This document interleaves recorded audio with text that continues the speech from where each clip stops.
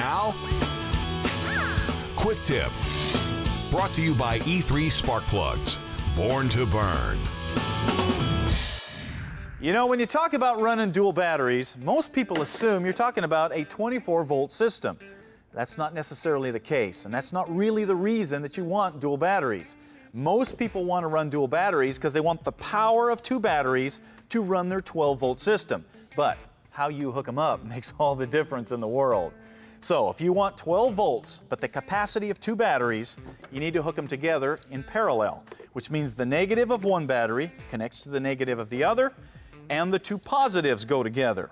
Then this is your negative out, that's your positive out. And what you've got here is 12 volts, but the cranking amps and the capacity of two batteries. This is perfect for if you're running a winch, lots of off-road lights, a big stereo, anything that's going to suck a lot of power. The good news is your alternator will charge both of these batteries. You just need to make sure they match so that they don't draw on each other and discharge. Now, if you want 24 volts, you need to hook the batteries up in a series, which means the negative of one battery connects to the positive of the other battery.